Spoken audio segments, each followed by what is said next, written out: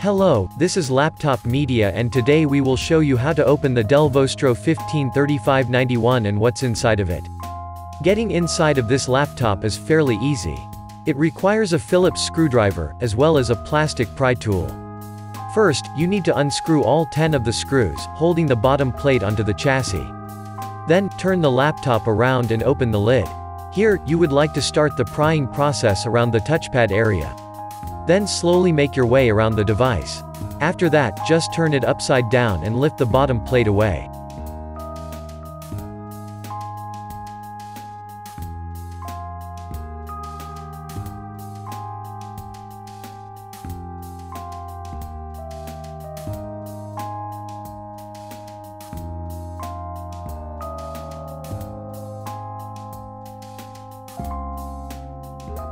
In terms of cooling, there is a single, yet thick heat pipe, which drives the heat away from both the processor and the graphics card.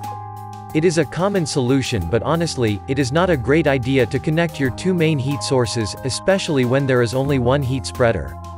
On the other side, upgradability looks great, there are two storage options.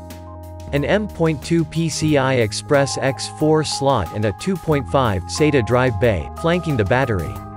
As of the memory, you get two RAM SODIMM slots that support up to 16 GB of DDR4 memory, working at 2666 MHz. By the way, Dell's official specs sheet shows support of 3200 MHz RAM as well.